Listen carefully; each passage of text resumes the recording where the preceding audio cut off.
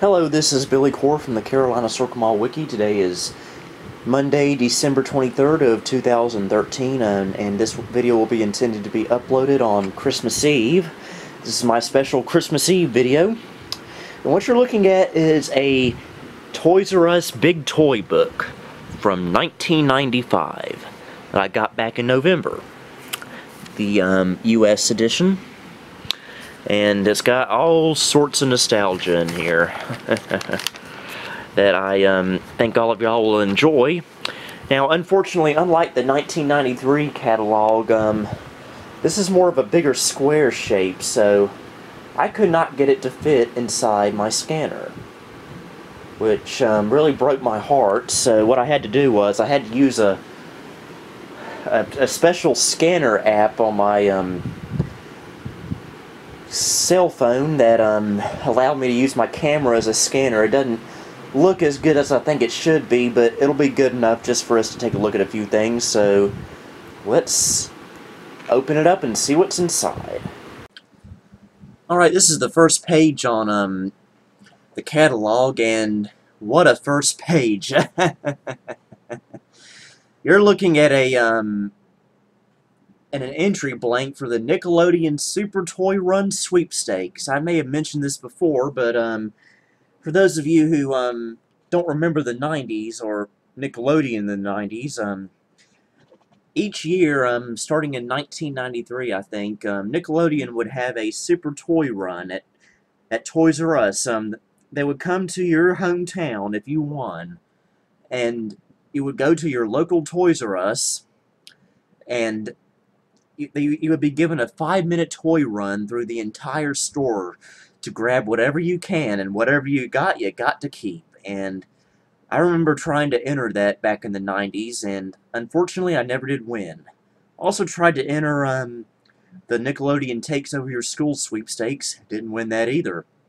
So um, as much as I love 90s Nickelodeon why did you have to be like that Okay, now we've skipped ahead quite a bit. Um, this is actually page 21. Um, reason I'm showing this is because um, I see a couple of interesting things I want to point out.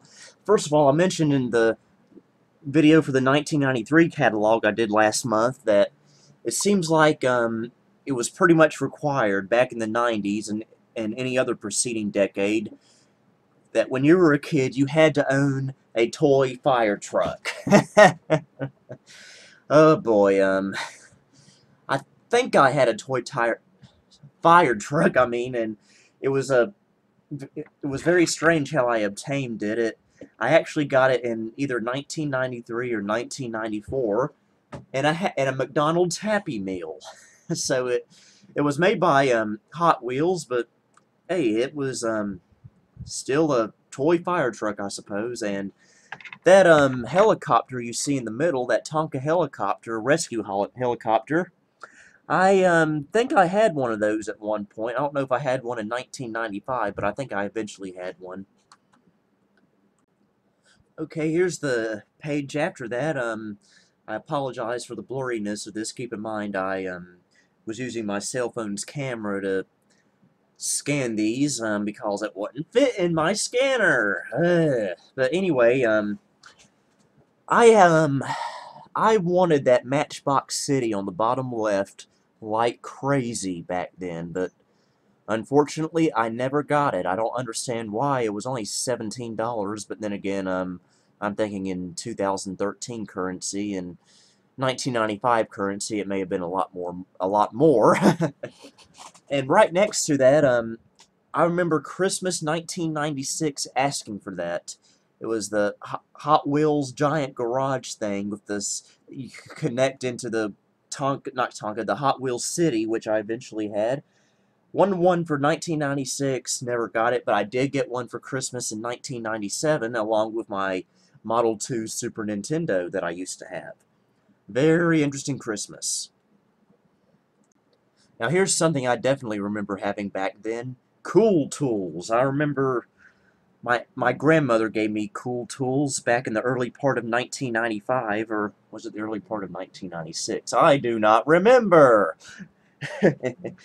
but um, I had a lot of fun with them. I you couldn't build anything with them, I don't think. Uh, at least I, I might have just been too stupid to build anything with them. but they were um, they were very, very popular items back in the mid-90s. Every boy wanted one, and I was one of them, and wound up getting some.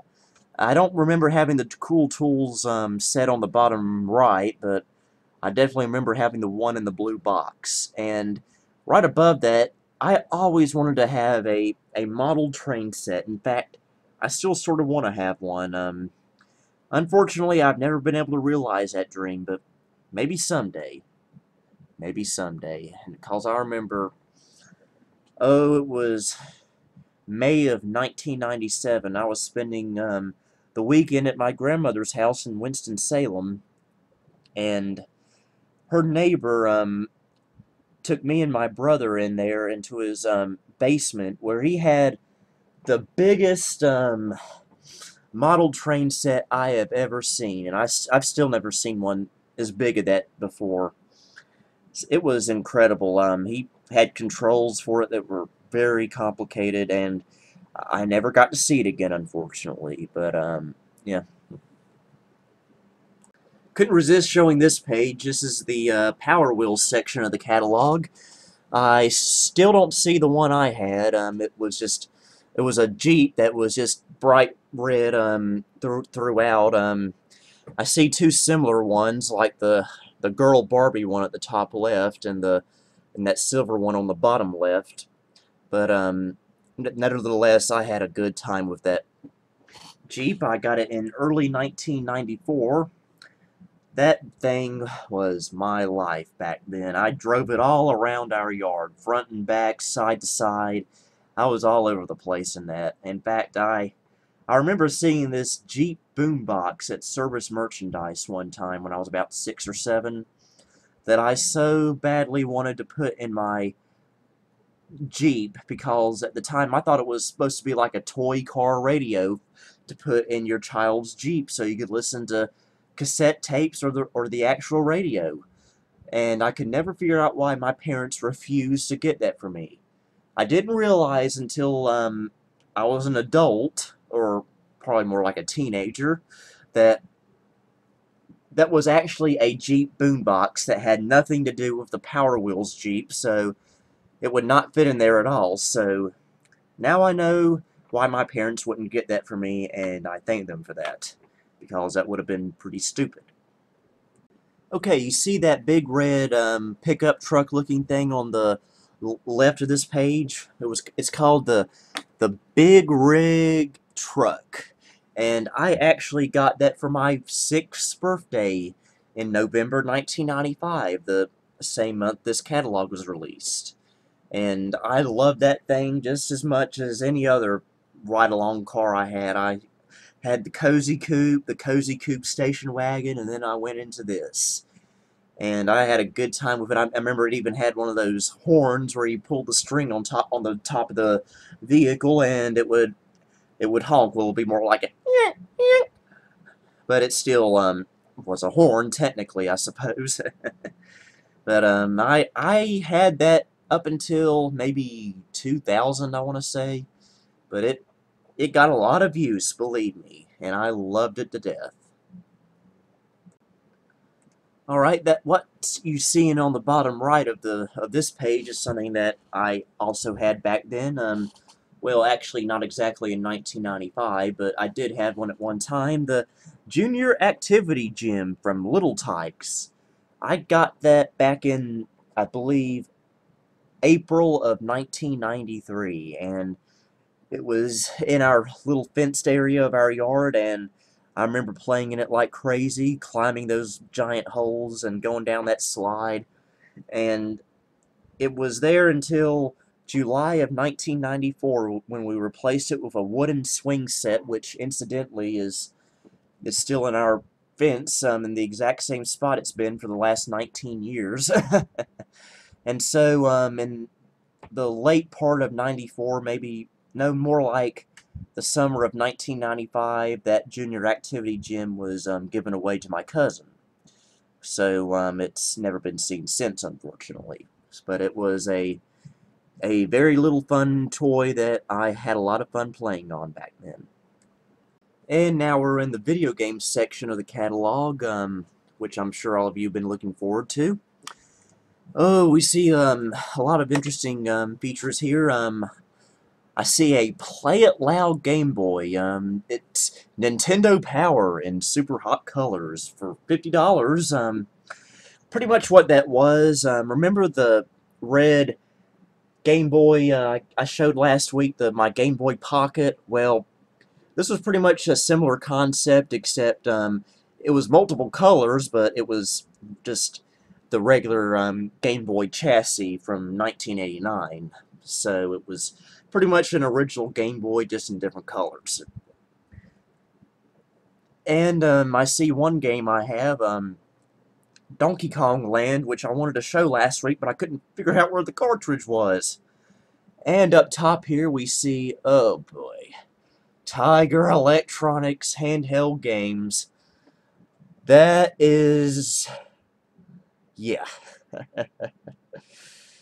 yeah, like I mentioned in the last video, um, these were pretty much the worst possible games you could ever own. Um, they were $18.99 um, in in 1995, but really they were only worth a dollar. You, the the worst possible screens you can imagine. It was pretty much like static graphics, if you could picture that. And oh my gosh, I just noticed they have a Daytona USA handheld game because logic.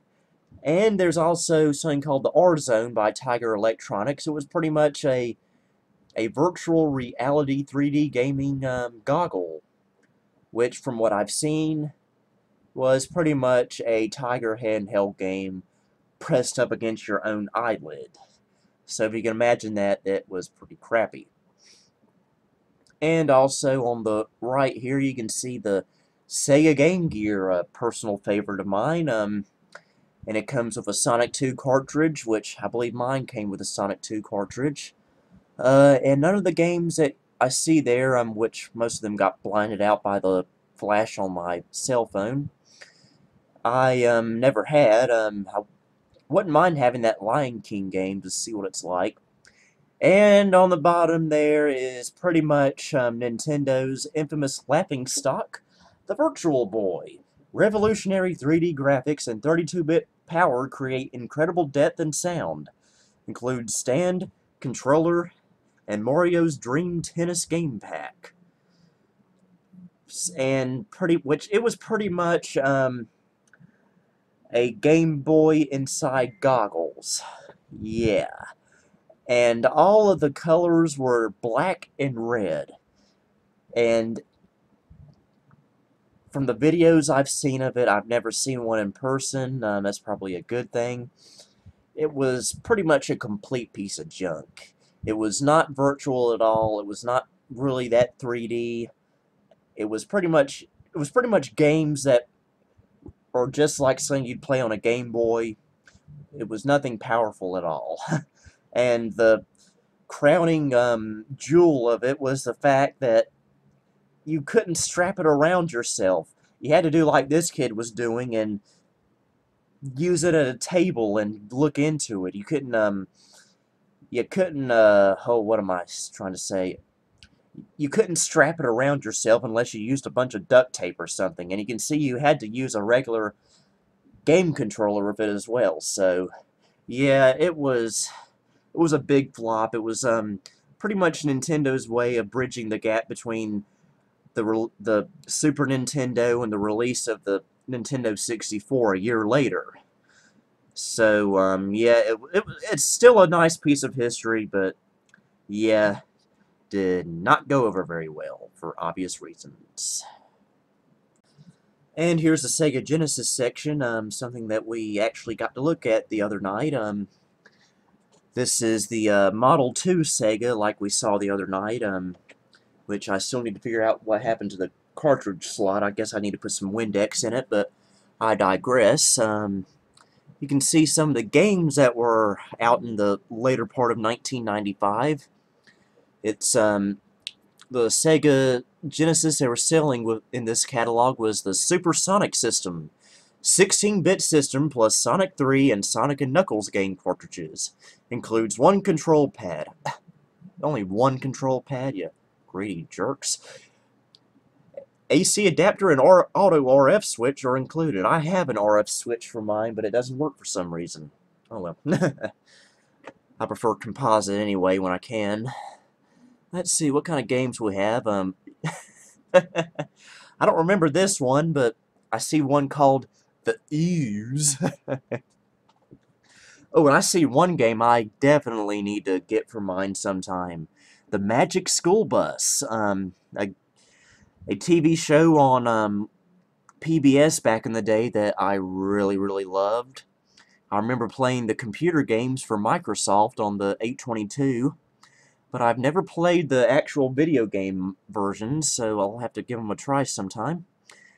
And I see some of the cheaper ones um, toward the bottom, um, like Paperboy, um, which I didn't even know they had for the Sega Genesis. Um, and um, on the right side of, on the bottom right of this, um, it got cut off because it's uh, the way it was designed. Um, you'll see it on the next page we show is the Sega CD, um, the the CD2 edition um, with 16-bit technologies and super stereo sound with Sonic 2 CD.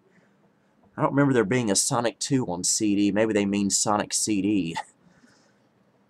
So, um, two I see right here are Mighty Morphin Power Rangers and Tomcat Alley. I'm sure we'll see some more on the next page.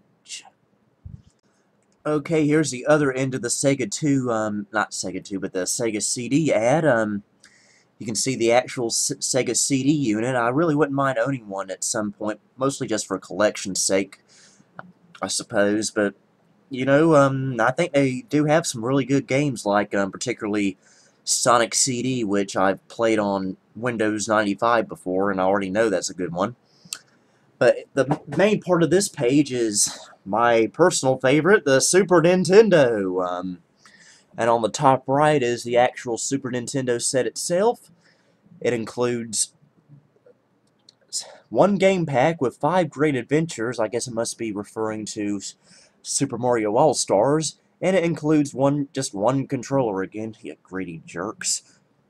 And all that could be yours for $130 and reserve now. Reserve Donkey Kong Country 2 now and get a free Donkey Kong t-shirt. $10 down payment required. Oh yeah, I remember that game. Um, I used to have it on my original um, Super Nintendo, the Model 2, but I lost it when I lost the Model 2 Sega uh, Super Nintendo. So I'll have to get it again, but I do know one game I had. Um, I, and that was the original Donkey Kong Country, which you see on this page, being sold for um, $47.99. And that actually happens to be my favorite Super Nintendo game. It has, I remember playing it on my original Super Nintendo. It has amazing graphics, pretty much the best of the time. Great sounds, great music, and a great story and great gameplay. It, it gets hard at times, though, but it's still a great one. Okay, I see Doom, um, which you got to see me fail at miserably on Windows 95 last week. And on the bottom, um, for 1997, I see one game I actually do own. Um, I don't know where it is right now, but it's um, Tiny Toon Adventures, a personal favorite cartoon of mine called Buster Bust Loose. Um, I've only gotten to level 2 so far um, in the past five years I've had it, so... I need to change that, don't I? Ladies and gentlemen, I would like you to meet what is considered my very first video game console, the Sega Saturn, which I got new at Toys R Us, coincidentally, in the early part of 1997.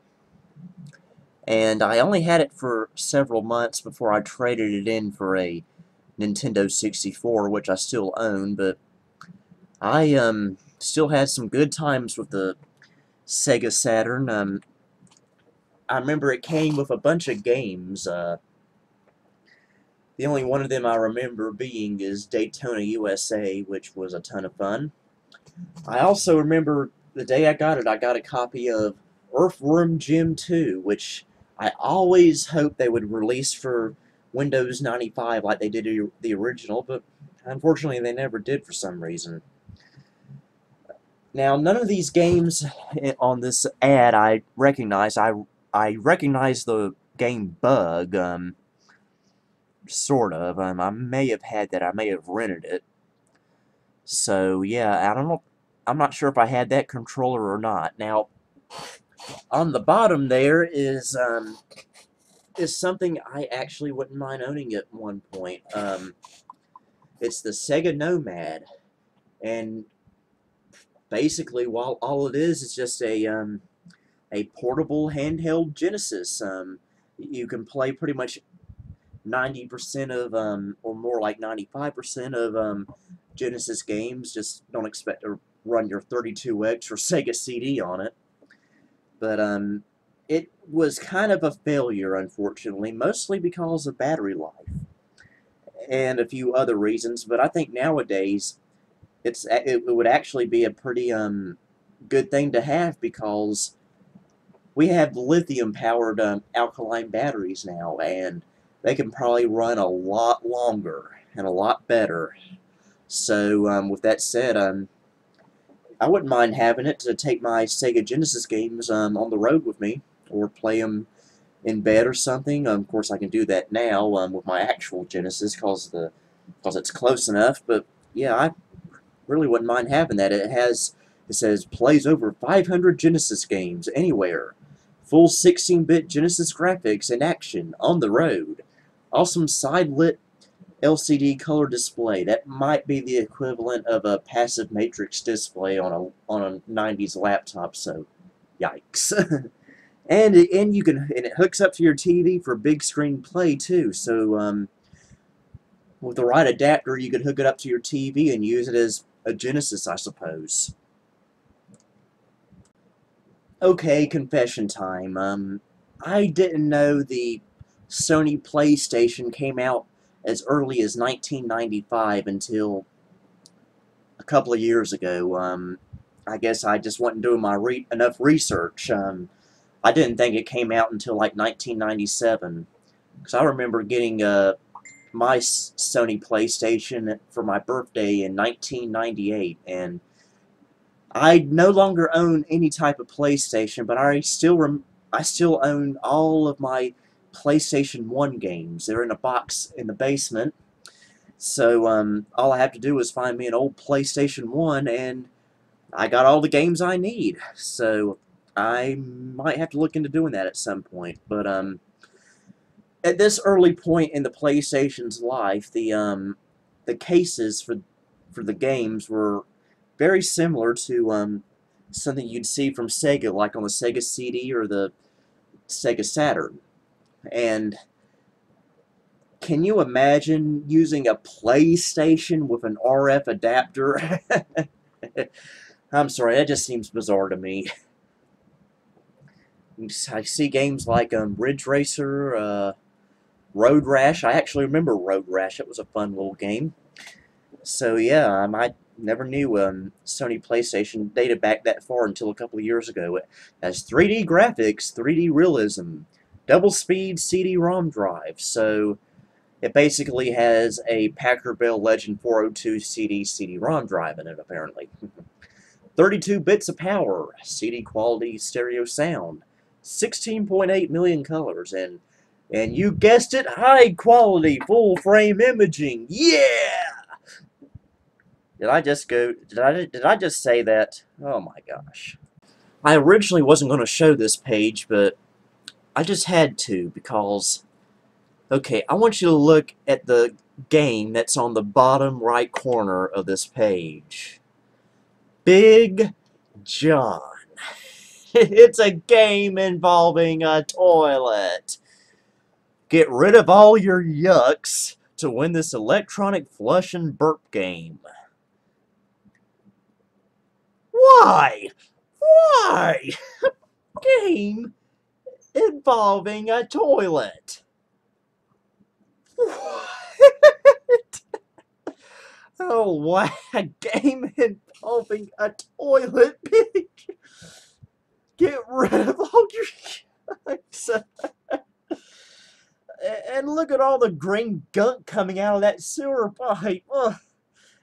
Well, that was intended for um, little boys, and you know, little boys do have this very, very sick and disgusting 40 sense of humor, so I guess I can see why it's a pretty good marketing technique, but ew! Gator golf, give it a whack. Gator golf, you'll throw it right back. Gator golf, what could be greater than playing a game of golf with a gator? Well, as a 90s Nickelodeon fanatic, I just had to show off this page. This includes two um, Nickelodeon board games. One of them being on the left, um, Are You Afraid of the Dark? A fun mystery game based on the popular series of the same name. Now, I don't know if I've mentioned this before, but as much as I love 90s Nickelodeon, Are You Afraid of the Dark is one show I can do without because I had kind of a traumatizing experience. Um, when I was about maybe six, maybe seven years old, I was at a deli eating supper with my mom at a um, shopping center in Winston-Salem, and right in front of me was this TV that happened to be tuned on to Nickelodeon. Well, normally that'd be a good thing, but unfortunately, it wasn't because it was on Are You Afraid of the Dark, and it was an episode involving a scary killer clown. Now, I think the reason it scared me so much was because it was similar to, the plot was similar to a nightmare I had recently had. It didn't have a clown in it, but it was still very terrifying. So, yeah, that turned me off of um, Are You Afraid of the Dark for the rest of my life. So, yeah. but to the right of that is um, a television show from Nickelodeon I do like. Clarissa Explains It All. Join Clarissa and her friends from the Nickelodeon series for lots of fun. Now, um, I really don't know how they could have made a board game out of Clarissa Explains It All. I've never really heard about this, but, um, and yes, I do realize it was intended for girls, but, um, I still watched it back then, and I still do watch it. It was a very, very fun show, but I still don't know how um, they could make a board game out of it, so I have to do a little bit of research on that. And, oh, who could forget these? The um, these laptop computer toys that were popular back in the 90s that you'd always see at toy stores. They were um, you, you would think you were getting a um, a full-fledged computer, but all it was was a piece of junk intended only to educate edu educate you. I think I need a little bit of education myself. I never owned one, thank goodness, but I certainly do remember seeing them. Um, But I have heard good things about them. Um, like I, um, my friend Jay Wakefield, aka Video Som Frontier, was telling me about the pre-computer power pad, which you can see at the top right of the page. It's activities teaching spelling, vocabulary, math, and more. A thousand challenging trivia questions, spell check. Ages 9 and up, and it was made by VTech, and $80 seems kind of steep for something like that, if you ask me. so, yeah, um, don't remember these too well, but if you but if you do, then um, then good for you. And now the videotape portion of the catalog. There are a lot of good tapes on this page. Um, I certainly remember the Santa Clause. Who could forget that? With Tim Allen came out in 1994 in the theaters, including um, the theater at Carolina Circle Mall, which I saw there and it came out on VHS tape in the later part of 1995, as you can see here. And it's a very, very, very enjoyable movie.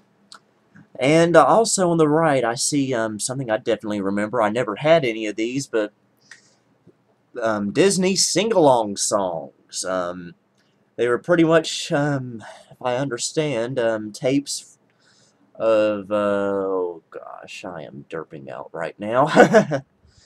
It was pretty much music videos uh, and sing-alongs for um, from for different songs from various um, Disney movies from over the years. Now below that, um, also from Disney, are spot tapes, which, oh gosh, I had these in the later part of 1995. I remember my dad would always get these for me. I remember having spot books and the spot tapes. And I was really into that for a short time, and I sort of wouldn't mind seeing what they were like again. Okay, this is the last page I'm going to show, um, and it happens to be the very back page, and you can see why this is my favorite page in the whole catalog. It's advertising now. Find the greatest PC software for kids at Toys R Us. See our news PC software department. So um, yeah, I remember I remember getting a few um, computer games from the Packard Bell back at in the 90s at Toys R Us. Um, I, I remember getting um, a lot of the um, kids soft games that were popular at the time. And um, one game I, I see on here that I definitely remember getting at the Toys R Us at Carolina Circle Mall, and you could probably see it up toward the bottom, is Freddy Fish and the Case of the Missing Kelp Seeds by my favorite, Humongous Entertainment. Oh, good times were had with that game, I tell you that. Another game I see I remember having, in fact I still have, is KidRiffs, put out by IBM. It's pretty much software to teach kids music. And it did me a lot of good. And I see some um, entertainment gains at the top. Um, I don't think I ever had any of these, but I think a lot of you will recognize one of them. Um, Road and Track, The Need for Speed, um, put out for um, MS-DOS. Okay, um, I see Math Rabbit, I guess is similar to Reader Rabbit. Believe it or not, I never did have Reader Rabbit back then. And um, Jumpstart Kindergarten, um, there's a demo for that on the, um, that would come on Packard Bell computers in the mid-90s. Um, my 822 came with one, but I never used it for some reason. I guess I ought to give it a try at some point to see what it's like. But I do remember having Jumpstart First Grade when I was in first grade, which I really ought to do a um, Let's Play of that sometime, because for a, an edutainment title, it's actually not too bad. And that was the Toys R Us catalog from November and December of 1995. Um, oh, that brought back a lot of memories. I just wish my scanner would have taken it better. but um, I hope all of y'all have a very, very good and blessed um, Christmas Eve today. And I will see you guys tomorrow for the um, final um, Christmas nostalgia video on Christmas Day. It's going to be a big one, but unfortunately I still don't know what it's going to be yet, so I can't even tell you if I wanted to. So um, I hope you guys enjoy it, and I also hope you guys enjoy the 35 hours of Christmas music over at Rockin' Waves. So for now, um, Billy Core saying Merry Christmas Eve.